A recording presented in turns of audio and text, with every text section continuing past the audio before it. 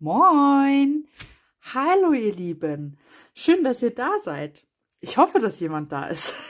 Es ist mein allererstes YouTube-Video. Ähm, ich bin auch ganz nervös, aber ich strenge mich für euch an, dass es nicht allzu chaotisch wird. ja, kurz vorstellen. Ich bin Anna. Hallo.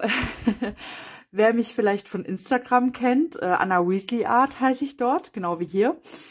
Ähm, ja, ich bin jetzt schon länger auf Instagram unterwegs, gebe auch schon länger Workshops, aber ich habe jetzt auch mal richtig Lust, YouTube-Videos zu machen und äh, ja, auch hier kreativ mit euch zu sein, euch vielleicht ein paar Inspirationen da zu lassen und äh, ja, einfach bunt austoben.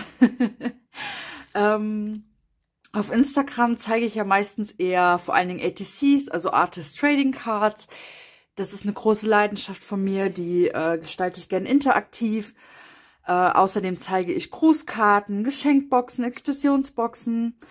Was da aber bisher noch nicht so zu sehen war, ist auch ein großes Hobby von mir und zwar das Junk Journaling. Äh, ja, deswegen ist das erste Video jetzt dem Junk Journaling ähm, gewidmet. Und zwar möchte ich eine Tasche machen für mein nächstes Journal, was in Planung ist. Ja, und da dachte ich mir, da nehme ich euch mit, weil auch schon einige auf Instagram, wenn ich das Papier, wie ich das bearbeitet habe und so gezeigt habe, haben die immer gefragt, wie machst du das eigentlich so? Prinzipiell habe ich mir das nicht ausgedacht. Ich habe ähm, die Anleitung davon bei Jutta von Junkel, von Junkelkram, genau, Jutta von Junkelkram, Jutta von Funkelkram gefunden. Äh, das setze ich euch natürlich auch mal unten in die Infobox. Schaut gerne mal bei ihrem Video vorbei oder auch generell auf ihrem Kanal. Sie macht ganz, ganz tolle Videos. Ähm, und ich wandle das dann halt so für mich ab, wie es dann mir gerade so in den Kram passt. Weil da, sie zeigt ja immer das Grundgerüst, sage ich jetzt mal. Und ähm, dann kann man das natürlich ganz individuell gestalten, wie man das dann halt für sein Journal braucht. Ja, für diese Tasche stelle ich mir jetzt erstmal dieses fake handgeschöpfte Papier her. Dafür braucht man einfach ein Blatt A3 Papier. Ganz ordinär von so einem Schulblock, wie man das früher in der Schule immer hatte. Und den bestempel ich mir jetzt erstmal ein bisschen mit diesem Schriftstempel. Den gibt es bei Funkekram im Shop. Und zwar mit Archival Ink weil wir da gleich mit Wasser drauf rumpanschen. Es geht auch mit Stazon oder anderen wasserdichten Farben, aber ähm, ja, ist halt wichtig, dass es dann nicht verläuft. Und dann stempel ich mir hier erstmal wild auf dem Blatt rum, so wie es mir gefällt.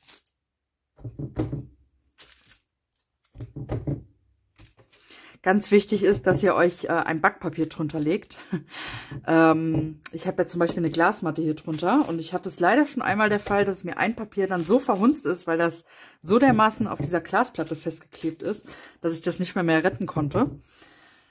Deswegen lege ich mir jetzt immer ein Backpapier drunter, dann kann man das auch zum Trocknen schön auf Seite tragen. Und man hat später keine Probleme damit, es wieder abzulösen. Ja, wie ihr seht, das mache ich jetzt einfach hier ganz ups, grob und unordentlich. Das ist ja Junk Journal. Deswegen mache ich das so gerne. Als Ausgleich quasi zu den ganzen Karten und Boxen, die ich auch super gerne mache. Aber da muss man ja wirklich immer jeden Millimeter genau ausmessen, damit diese Boxen funktionieren und so. Ja, und beim Junk Journaling kommt es halt echt nicht so drauf an. Da kann man auch mal ein bisschen schludrig sein. Und das fällt dann gar nicht auf. Und ich mag es einfach dann spontan zu gucken, wo die Reise hingeht. Ich mache mir da meistens keinen, ganz, keinen großen Plan, sondern improvisiere. Und äh, ja, das gefällt mir gut. Das ist mal gut zum Abschalten und runterkommen, zum Entspannen für mich. So. Genau. Jetzt nehme ich mir hier mein Wasserklebergemisch. Ich habe da einfach ähm, den Junk Journal Kleber genommen, äh, den es auch bei Funkekram gibt. Und mit ein ganz klein bisschen Wasser verdünnt, dass der halt ein bisschen flüssiger wird. Aber ihr könnt auch, denke ich, ordinären weißen Bastelkleber benutzen. wird, denke ich, auch kein Problem sein. Und dann beginne ich, Ganze damit einzustreichen, großzügig.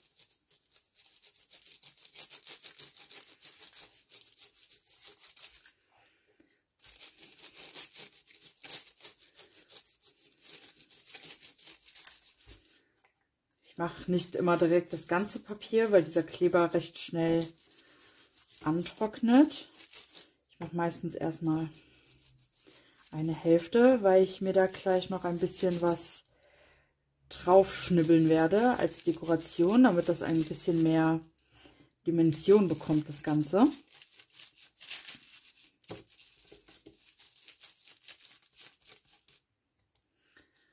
Werdet ihr dann sehen. Ich habe mir nämlich äh, als nächstes Journal-Projekt möchte ich mir gerne ein Elfen-Journal machen.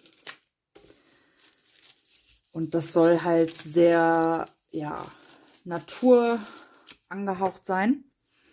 Und aber trotzdem natürlich auch magisch wegen den Elfen. Deswegen habe ich mir hier diese bunten Federn rausgesucht. Und hier diese Fake-Efeu-Blätter. Das wollte ich mal ausprobieren, ob die nicht zu dick sind ob ich mir die da gleich drauf verteilen kann. Aber erstmal nehme ich mir hier diese Federn. Ich glaube, ich hätte jetzt erstmal gerne die lilane. Eine Schere. Und dann schnibbel ich mir so ein bisschen von der Feder auf das Papier. Ihr könnt da auch Juteband nehmen oder Geschenkband. Ganz toll geht auch diese, äh, einfach diese Naturkordel quasi.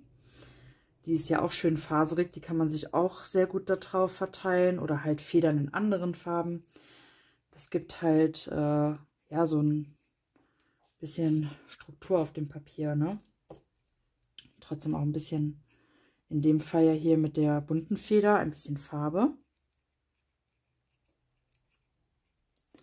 So, ich gehe aber noch mit einer anderen Farbe drüber. Ich glaube, das Blau fände ich dann noch ganz schön. Ups. Das wird eine ganz schöne Matscherei in dem Video. Aber rummatschen macht mir sehr viel Spaß. Ich arbeite ja auch immer gern mit Tinten und sowas.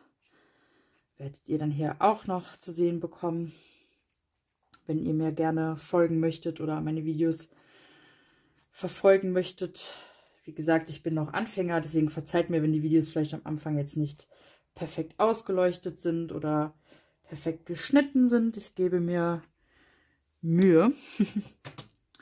so, und jetzt wollte ich gucken, ob ich die hier irgendwie da drauf kriege. Oder ob die zu dick sind. Ich weiß nicht, ob die zu viel abstehen, weil die nicht so ganz gerade sind. Nee, ich glaube, das funktioniert leider nicht. Die kann ich leider nicht draufpacken weil ähm, da kommt gleich eine Serviette drüber. Das ist dann zu dreidimensional. Deswegen, die, die benutze ich dann später als Deko, nicht für hier drauf. Genau. So, dann streiche ich den Rest weiter ein.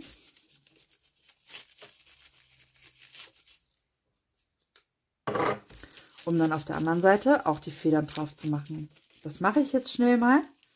Und dann sehen wir uns gleich wieder. Tada! Alles mit Federn bestückt. Habe noch hier von einer rosanen Feder was genommen. Und jetzt brauchen wir Servietten. Zwei Stück. Und zwar brauchen wir aber nur, da sind ja verschiedene Schichten auf dieser Serviette. Und wir brauchen wirklich nur die unterste weiße Schicht. Ihr könnt natürlich auch, wenn ihr jetzt eine schöne Serviette habt, die euch äh, besonders gut gefällt, das Muster auch dafür nehmen. Ne, dann sieht man halt nicht so viel von dem, was ihr da drauf stempelt oder macht. Aber ich möchte jetzt wirklich nur das Weiße haben und muss jetzt mal gerade versuchen, das hier runter zu fummeln. Nicht immer so einfach. Na, da habe ich es. So. Wirklich die unterste Schicht davon. Weil auf der mittleren Schicht ist meistens auch noch ein bisschen von dem Muster zu sehen. Und ich möchte ja wirklich durchsichtig jetzt haben. Okay, das war Nummer zwei. Und die nehme ich jetzt und zerkniete knitter sie. Ups, damit die nicht so gerade sind. Ich möchte da nämlich eine schöne Struktur reinbekommen.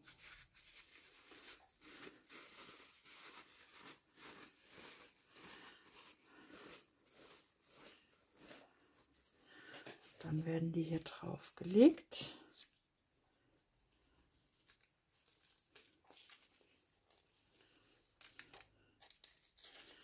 Und dass es am besten ein bisschen drüber steht.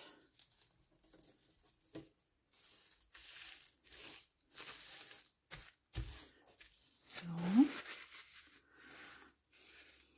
Damit auch alles nahtlos mit der Serviette bedeckt ist.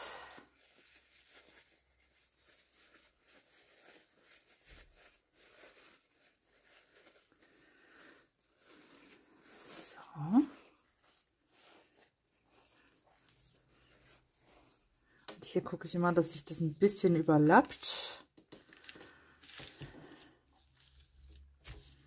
Gut.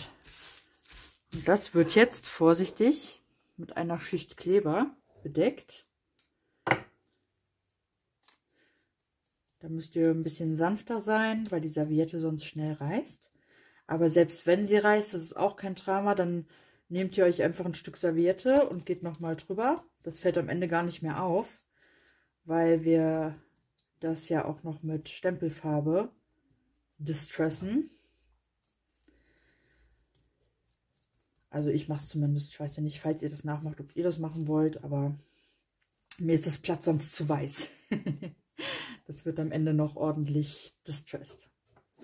Ich balsamiere das jetzt hier schön ordentlich ein und gucke immer, dass hier oben die Kanten und Ecken auch gut bedeckt sind. Und dann melde ich mich gleich nochmal bei euch. Wie man sieht, bekommt das Papier dadurch diese tolle Struktur. Also ich hoffe, man kann es in der Kamera erkennen. Ich gehe halt immer, ähm, nicht immer in dieselbe Richtung. Also ich mache mal so rüber und dann mal wieder so rüber, damit die Serviette sich auch unterschiedlich legt. bis man dann wirklich alles erwischt hat. Eine meditative Aufgabe auf jeden Fall. Wenn ich jetzt kein Video drehen würde, würde ich wahrscheinlich einen Podcast, lau Podcast laufen haben oder so. so, gleich habe ich es geschafft. das Projekt ist halt etwas, was nicht an einem Tag fertig ist, weil das lange Trocknungszeiten immer hat. Also da müsst ihr schon ein bisschen Geduld mit einplanen. So. Denn diese Schicht muss jetzt trocknen. Und danach ähm, muss ich noch die andere Seite kollagieren. Also für mich zumindest. Wenn man die weiß lassen will, kann man die natürlich auch weiß lassen. Äh, ich möchte die andere Seite gerne mit alten Buchseiten dann kollagieren, aber ja, das zeige ich euch dann, wenn das getrocknet ist. Das muss jetzt erstmal ein paar Stunden gut durchtrocknen, vielleicht sogar über Nacht, wenn ihr es abends macht. Ja, also, wir sehen uns dann später wieder, beziehungsweise für euch ist es ja nur ein paar Sekunden gleich später. okay, das Ganze ist jetzt durchgetrocknet und jetzt kann man das ohne Probleme hier vom Backpapier ablösen. Die äh, überstehenden Sachen lasse ich noch dran, weil ich ja auch jetzt die Rückseite erstmal kollagieren möchte. Und zwar benutze ich da Seiten aus diesen Büchern. Da habe ich die meisten Seiten schon... Oh, das ist schon ein leeres. Da muss ich gleich nochmal gucken. habe ich die meisten Seiten schon rausgeräubert. Aber ein paar sind noch drin. Ja, hier, die reichen auch, denke ich. Ähm, aus dem Einband wollte ich dann irgendwann nochmal was machen. No, ne? ist jetzt so schade zum Wegwerfen. Ja, das sind diese ähm, Flower Fairy Bücher. Die kaufe ich immer gebraucht bei Medimobs oder Rebuy oder so und zerlege die dann immer. Ich habe ja auch ganz viel ATCs schon mitgemacht. Ja, da schneide ich mir einfach hier grob die Seiten raus. Dann kann ich die halt für die Innenseite als Collage benutzen.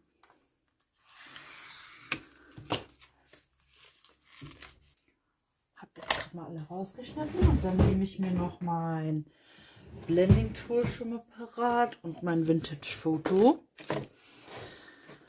Und dann reiße ich mir die schon mal in Stücke. Achso, ja, da kannst du bleiben und färbt die auch schon mal ein bisschen ein.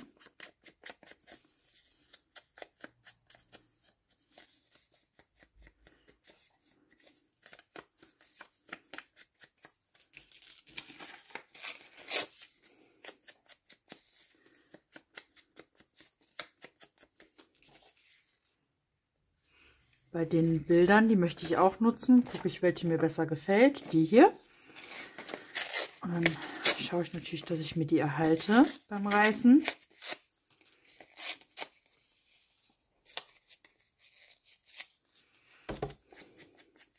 Ihr könnt da aber auch irgendwelche Seiten vom Flohmarkt nehmen. Ich habe da auch ganz viele alte Sachen einfach rumliegen, die ich günstig auf dem Flohmarkt gekauft habe. Oder halt äh, alte Bücher, die ihr sonst so irgendwo her habt. Von Oma, von der Tante.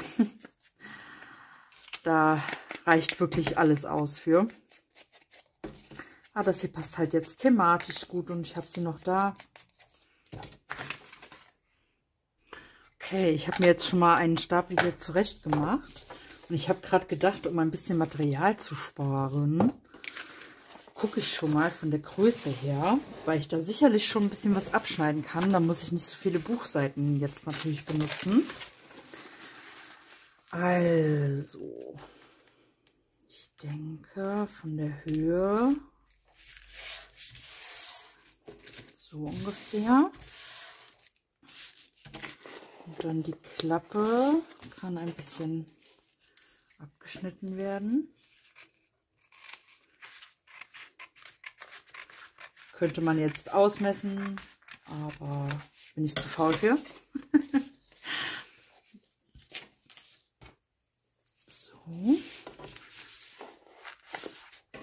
noch so ein kleines Stückchen ab,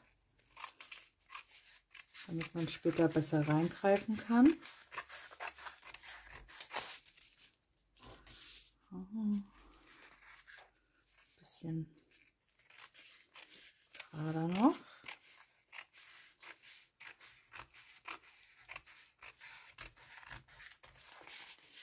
So. So ist, denke ich, ganz gut weil dann knicke ich, de, der Knick ist nämlich ein bisschen weiter hier oben. So, seht ihr das? Dann hat man hier ein bisschen besseren Einpack. Ich weiß nicht, wäre das noch ein Stückel? Ich lasse es gerade erstmal so, das entscheide ich im Nachhinein, ob das, ob ich da noch ein Stückchen abschneide, aber es nehme auf jeden Fall noch ein bisschen von der Breite weg. So breit brauche ich die Tasche nicht. Die soll ja auch ins Journal passen. Mm, ich nehme am besten mal meine Journal-Vorlage. So, und ich möchte so eine Einstecktasche haben, wo die reinkommt. Oder sie einkleben. Das muss ich noch entscheiden. Ungefähr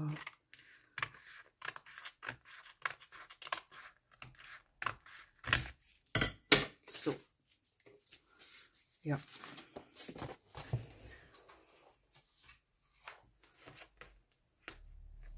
So ist, denke ich, eine gute Größe. Und dann kann ich hier starten mit Collagieren. Vielleicht reicht es, vielleicht auch nicht. Dann kann ich gleich noch mal ein paar nachschneiden. Einfach wieder mit dem Kleber-Wasser-Gemisch einbalsamieren glaube, das heißt nicht einbalsamieren, aber ich sage das immer. und dann überlege ich mir, das ist ja die Klappe und da kommen ja dann tendenziell die Bilder, die Bilder hin, damit man die auch dann sieht. Und dann kommt da einfach nochmal zum Fixieren drüber.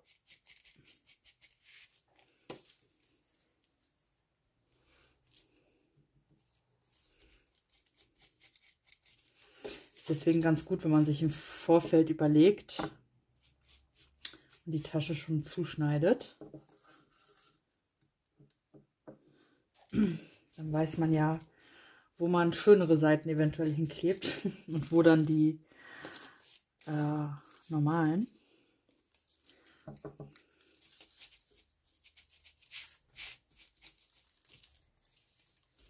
Ich gucke auch, dass es so ein bisschen am Rand drüber guckt, damit ich das später einfach abschneiden kann. Hier geht dann so ein bisschen von der Vintage-Foto was ab, aber es sollte nicht so schlimm sein. Es reicht zumindest, dass der Effekt noch da bleibt.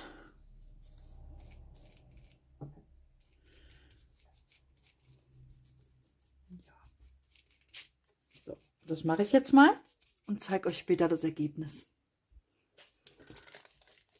Okay. Ich musste noch ein bisschen was zuschneiden zwischendrin, aber... Ach nee, da oben die Ecke fehlt noch.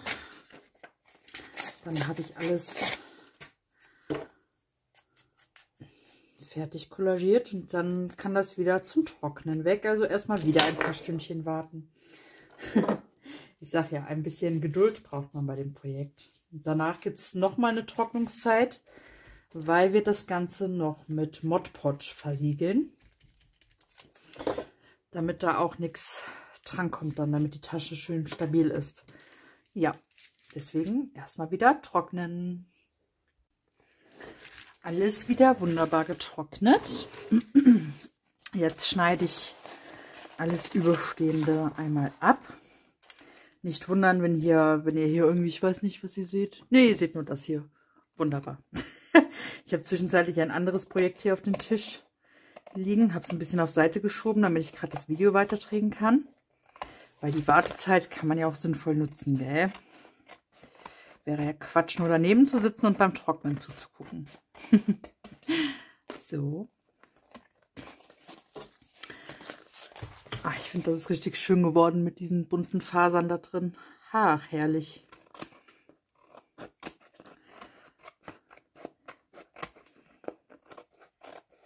Mögt ihr Feenzeug? Ist ja nicht jeden seins, aber ähm, oh, ich weiß nicht, ob ihr es gehört habt, aber ich musste kurz zu meinem kleinen Sohn. Der ist wach geworden. Das ist nämlich jetzt hier mittlerweile Abend. Und er liegt im Bett. So, ich hoffe, dass er jetzt wieder weiter schläft, damit ich hier weitermachen kann. Jetzt weiß ich gar nicht mehr. Ach stimmt, hatte euch gefragt, ob ihr Feenzeug mögt. Ist ja nicht jedermanns Sache. Ich persönlich liebe Feen. Es muss bei mir auch nicht zu kitschig sein.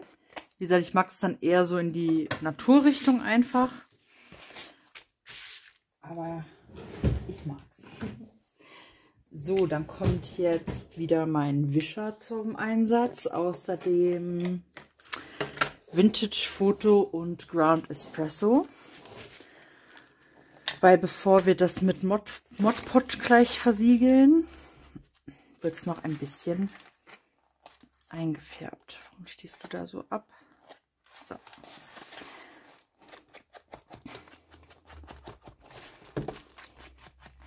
Das mache ich einfach an den ganzen Rändern.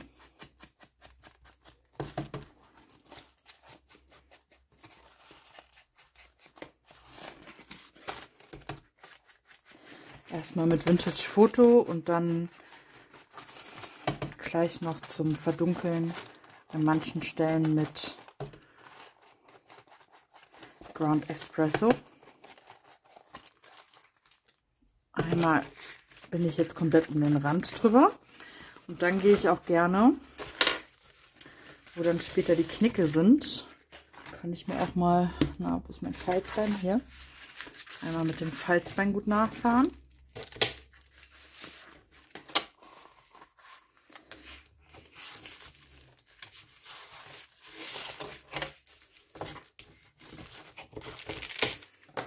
Und dann gehe ich auch diese Kanten entlang. und die geknickt sind. Weil da ja auch, wenn es jetzt wirklich ein Vintage-Teil wäre, Abnutzung stattfinden würde.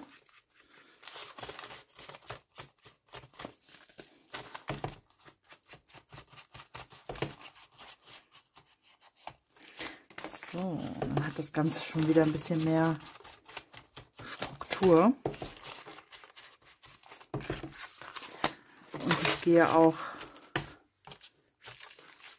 ein bisschen kreisend in die Mitte rein, weil mir das sonst zu strahlend weiß ist. Das darf ruhig ein bisschen dreckiger aussehen.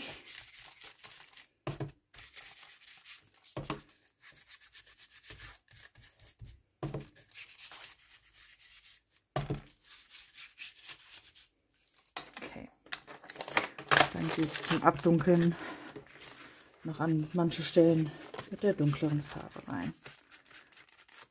Die habe ich leider nur als Oxide da.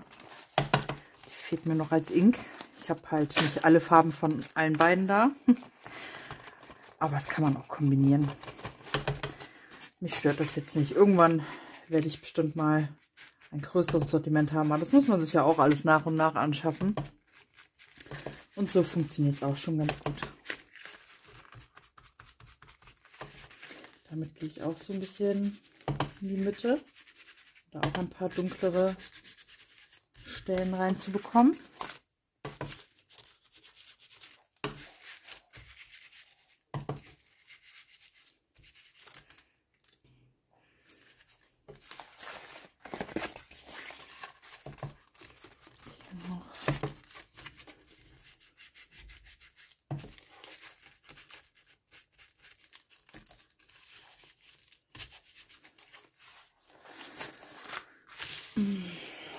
Gehe ich auch noch ein bisschen, zumindest im oberen Teil drüber, den man beim Aufklappen dann auch relativ gut sehen wird.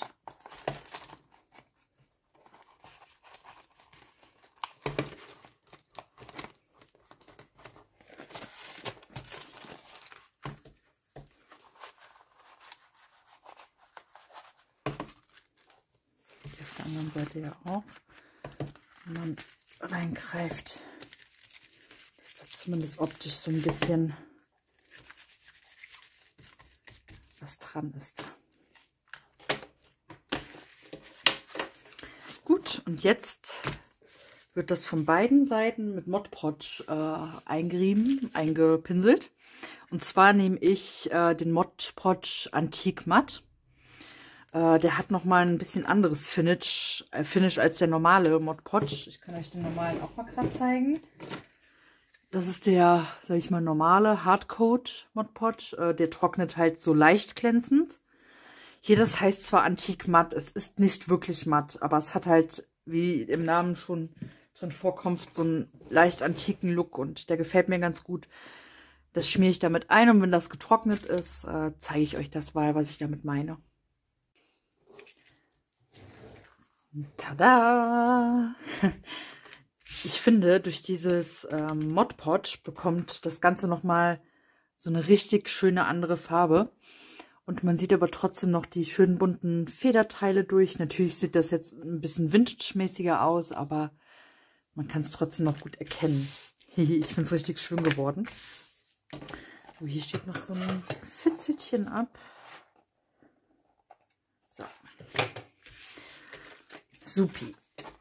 Jetzt können wir ans Zusammennähen gehen.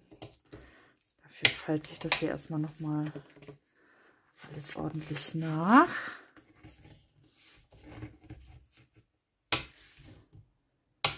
Guck auch nochmal zur Sicherheit, ob das auch von der Größe her noch passt. Das sind ja meine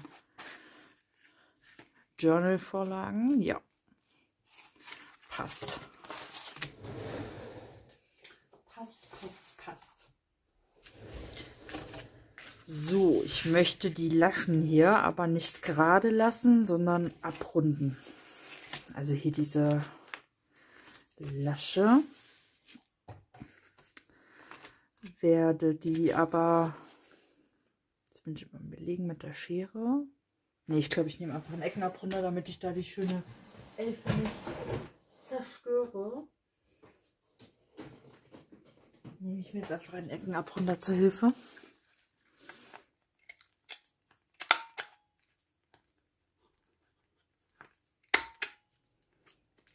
Ja, der hat ein bisschen zu kämpfen mit den vielen Schichten. Jetzt nicht ganz perfekt geworden. Da helfen wir ein bisschen nach.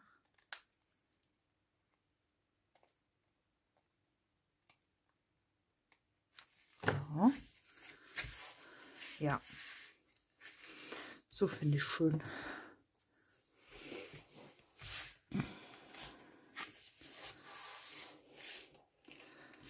Supi. Das wird jetzt hier einmal bis oben hin gelocht. Zack, zack, zack, zack. Und dann fädeln wir da Schnur durch, um das Ganze zusammenzunähen. Ich muss mal gerade gucken, hier guckt irgendwie was ab. Da ist es nicht ganz gerade. Nicht, dass mir was vom Deckel absäbel.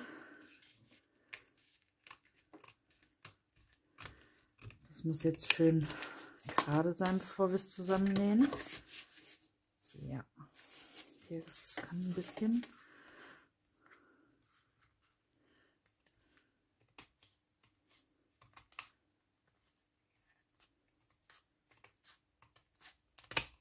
So.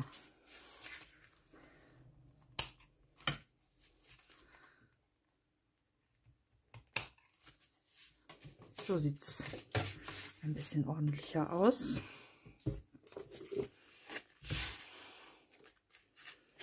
Ja. Finde ich gut. So, ich nehme mir zum Lochen meine Crocodile, einfach weil ich sie habe und es damit wunderbar einfach geht. Ihr könnt aber auch einfach eine äh, Schneidunterlage und eine Prickelnadel nehmen, nur dann müsst ihr es je nach Schnur halt ähm, ein paar Mal nebeneinander machen, damit die Löcher breit, also vom Durchmesser her genug sind. Ich zeichne mir das jetzt noch so ein bisschen an, wo ich da lochen möchte.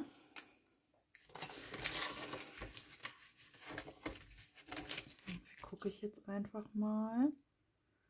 Ich denke, vom Rand weg bleibe ich einen Zentimeter und dann mh, hm, alle anderthalb. Ja, das macht Sinn. Alle anderthalb Zentimeter mache ich einen Punkt hin. So. Gott, ich muss immer. Man sieht immer so schlecht mit der Kamera direkt vor der Nase. Ja, das geht wunderbar auf. Auf der anderen Seite auch. Also ein Zentimeter vom Rand weg und dann alle anderthalb Zentimeter.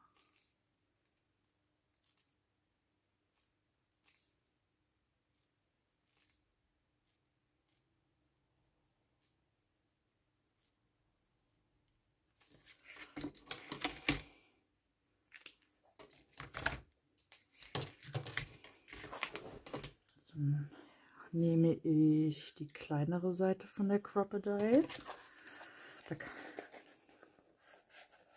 und gucke, das kann ein bisschen kleiner angestellt werden. So eine Crocodile ist halt wirklich praktisch, wenn ihr viel bastelt. Und äh, man kann damit ja auch so tolle Ösen reinmachen also so Eyelets, so um das quasi zu verstärken. Werde ich jetzt in dem Fall hier nicht machen, weil die Tasche ja einfach nicht viel äh, ja, Kraft ausgesetzt ist. Die ist ja quasi nur in einem Journal drin und fliegt nicht in meiner Handtasche rum oder trägt, also beinhaltet dann keine schweren Sachen, sondern nur, keine Ahnung, ein paar Zettel und ein paar Tags oder so. Deswegen äh, geht mir das dann zu weit, da irgendwie das, den, das Material dafür aufzuwenden, da so viele Ösen reinzumachen. Aber wenn ihr das natürlich wegen der Optik haben wollt und ein, die Möglichkeit habt, dann macht das. Es sieht natürlich schön aus. Aber mir ist das Material dafür gerade zu schade. Und der letzte.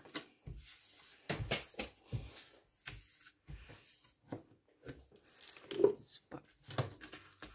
Zum Zusammennähen nehme ich hier so äh, gewachste Baumwollschnur. Davon fädel ich mir großzügig was ab.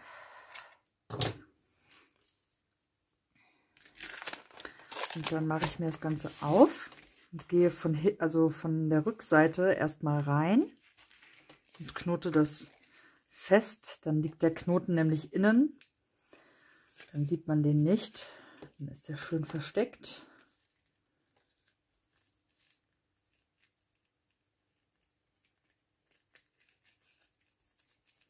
Das kann man dann hier noch ein bisschen abschneiden. Dann gehe ich durch das unterste Loch auf der Vorderseite durch. Habe meine Schnur dann hier vorne. Na, gehst du weg. Und dann gehe ich einfach abwechselnd durch beide Löcher durch und nähe es mir zusammen. Es ist ja ohne Nadel, aber eine Art des Nähens, sage ich jetzt mal einfädelns. Gucke, dass es schön stramm auch sitzt. Dass die Tasche schön zusammen ist. Ich habe ja auch einen viel zu langen Faden abgeschnitten, aber ich denke mir immer lieber zu lang als zu kurz. Dann hat man immer ein Problem. Und die Reste schmeiße ich ja nie weg, die behalte ich immer. Ich habe so eine kleine Kiste, wo ich so Schnur- und Bänderreste aufbewahre. Die kann man immer gebrauchen, gerade weil ich ja viele ATCs mache. Da braucht man dann auch oft einfach kleine Stücke. Deswegen verschwendet wird hier nichts. Ne? Ihr solltet auf jeden Fall ein stabiles Band dafür nehmen.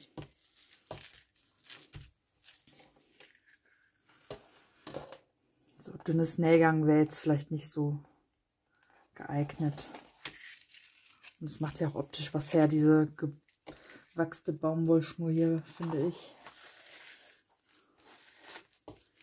So. Dann wieder hier durch.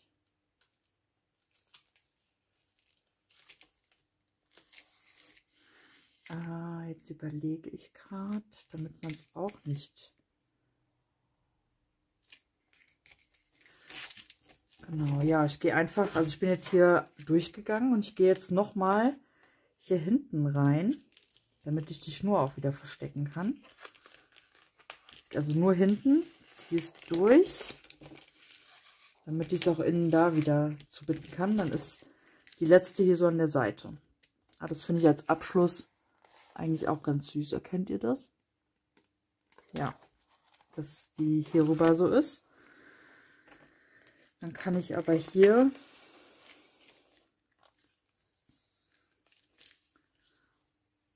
das erstmal ein bisschen kürzen.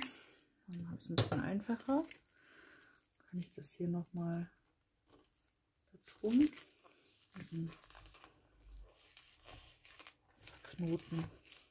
Ist ein bisschen fuddelig.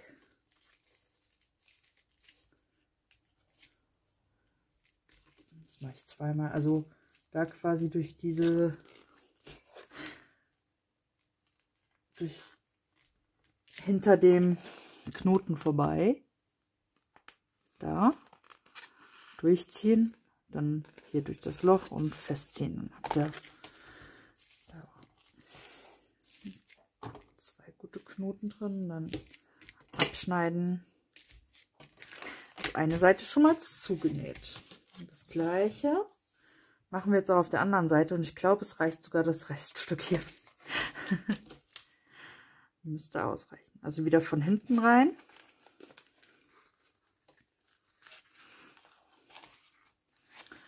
Wieder zuknoten, damit der Knoten innen versteckt liegt.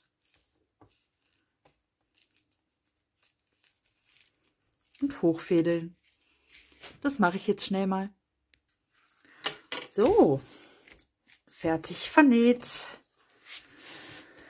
Das ist die Dann erstmal. Mit schön viel Platz drin. Finde ich gut. Und jetzt geht's an die Deko. Okay, jetzt habe ich mir die Deko und den Verschluss überlegt. Ähm, für den Verschluss möchte ich gerne so einen Wickelverschluss machen. Dafür habe ich mir hier Handstanzern zwei verschiedene Kreise aus alter Pappe einfach äh, ausgestanzt. Ich glaube fünf Stück und habe die aufeinander geklebt. Habe die in der Mitte gelocht mit der Crocodile. Und möchte die dann quasi hier und ja, hier unten so befestigen und als Deko diese Spitzen drauf verteilen. Weil bei einem Elfenjournal darf auch Spitze nicht fehlen, finde ich. Die sind im Übrigen von Funkelkram. Äh, genau, und ich möchte vorher, denke ich, noch diese hier anbringen. Die finde ich ganz nett. Die habe ich äh, auf der Koblenz Kreativmesse gefunden.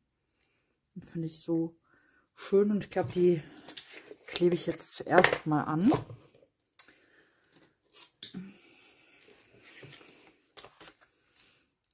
Hier am Rand den Kleber drauf.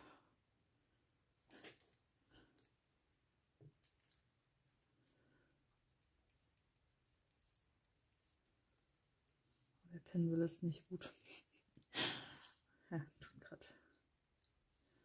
dafür seinen Job.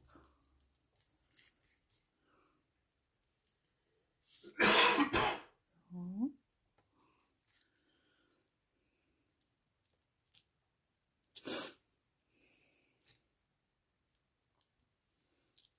Versuchen hier ums Eck zu kleben.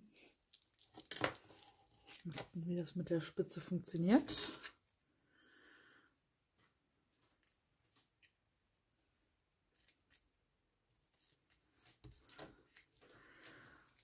gab es in so einer Kramkiste. Da gab es dann, ich glaube, sechs Stück für, keine Ahnung, drei Euro oder so. Also ganz viele verschiedene Spitzen und Bänder. Und da konnte ich nicht Nein sagen. Die hat nämlich einfach Feenjournal geschrien. Und Feenjournal ist ja schon lange ein Wunschprojekt von mir. Deswegen bin ich jetzt froh, dass ich sie habe und Journal jetzt umsetzen kann. Ja, das hat gut geklappt. Gut andrücken. Da mache ich noch hier in die Ecke was Kleber rein, damit ich das runterdrücken kann. So. Hier wird dann einfach abgeschnitten.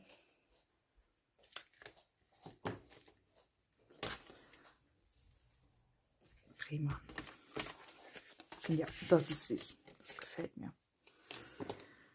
Jetzt ist noch zu weit drüber. Ein Müh.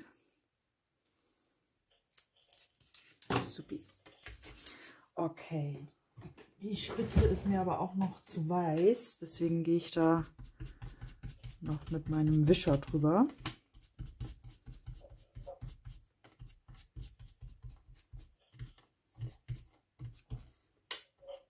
Von hinten ein bisschen.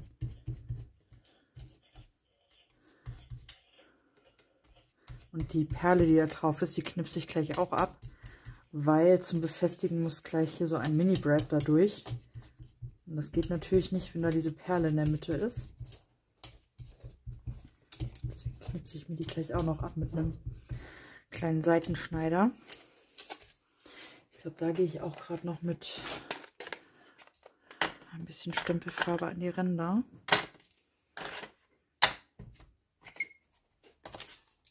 von der Spitze so ein bisschen. Es diesen abgetatschten Look noch hat.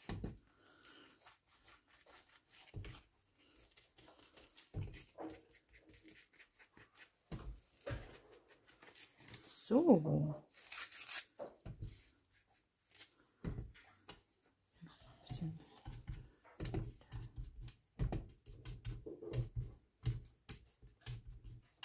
Prima.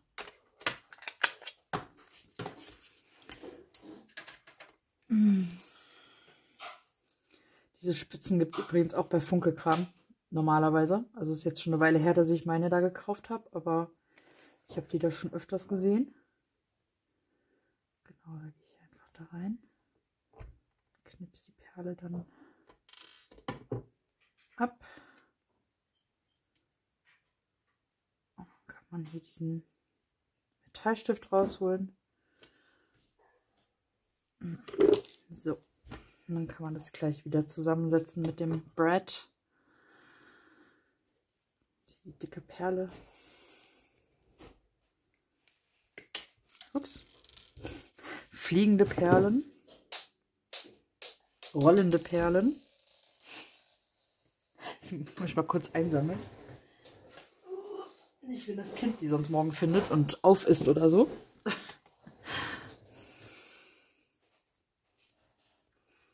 Na, jetzt kriege ich den Metallstifter nicht raus. Der ist ganz versteckt da. So, jetzt. Okay. So. Dann gucke ich mir genau an, wo das genau sein muss. Die Verschlüsse. Einer da. Einer da, denke ich. Ja. Dann nehme ich mir die Prickelnadel und stich das einmal da durch. Ich habe jetzt hier so bunte Brads geholt. Hm, hat mir gut gefallen zu den Feen. dann gehe ich damit einfach durch die beiden Spitzteilen durch. Durch meine Scheibe. Durch das Loch. Nur noch umbiegen. So, ist dann eine Seite schon befestigt. Und das gleiche machen wir auch hier unten. Das ist natürlich ein bisschen fuddeliger. da man aufpassen muss, dass man nicht durch beide Teile piekst. Aber wenn man vorsichtig ist, man kann ja gut aufmachen und reingucken, dann klappt das gut.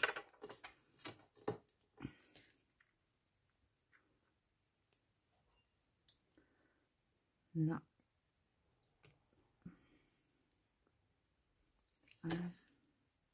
So. So, das kann ich jetzt nicht so gut zeigen, aber die muss man jetzt innen umklappen. So. Dann ist das Ganze schön befestigt. Diese Ecke da habe ich eben schon gestört. So. Prima. Und das wird jetzt mit der gleichen, also ich benutze jetzt die gleiche Schnur, die ich auch hier am Rand benutzt habe. Äh, könnt ihr natürlich auch wieder machen, wie ihr möchtet.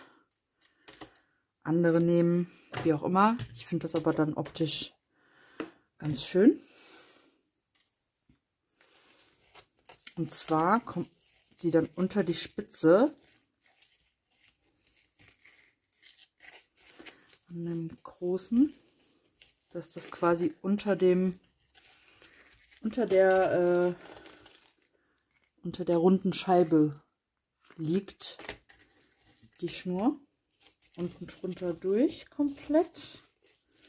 Und dann knotet ihr die da erstmal zusammen. Da reicht doch vollkommen ein Doppelknoten dann. Das hält ja, wie gesagt, jetzt keine wirkliche Kraft aus. Diese Tasche das ist ja eher als Deko-Element. Einmal geknotet.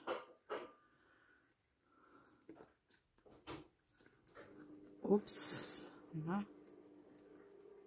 Es ist schon spät, meine Hände zittern ein bisschen. Zweimal geknotet. Schneide ich hier das Ende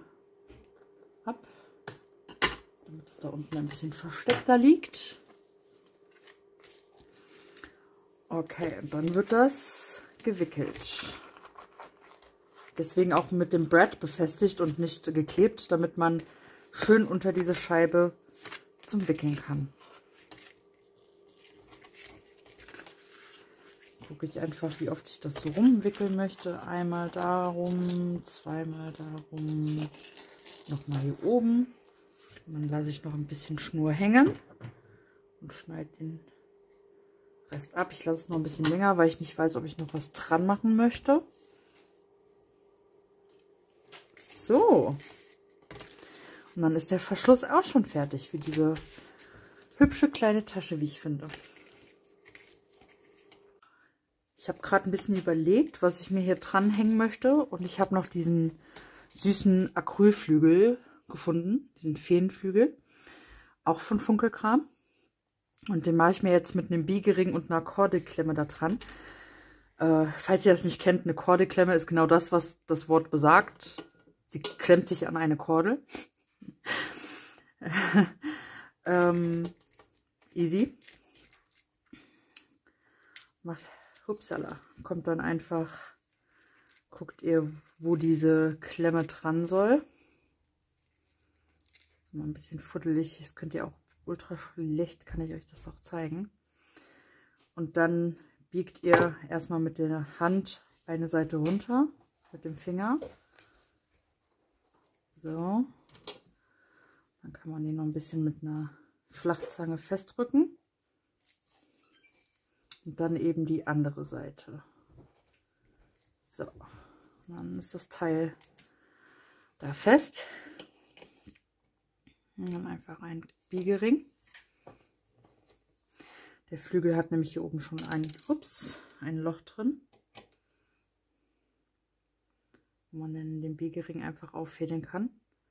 Das ist alles nicht so meine Stärke. Ich habe zu zittrige Finger dafür. Aber für zwischendurch reicht es. So. Das muss jetzt durch die Korbi-Klemme durch.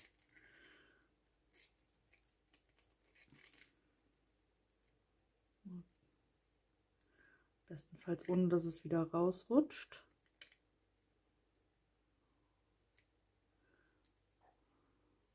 So. Und dann kann man den Biegering zuklemmen.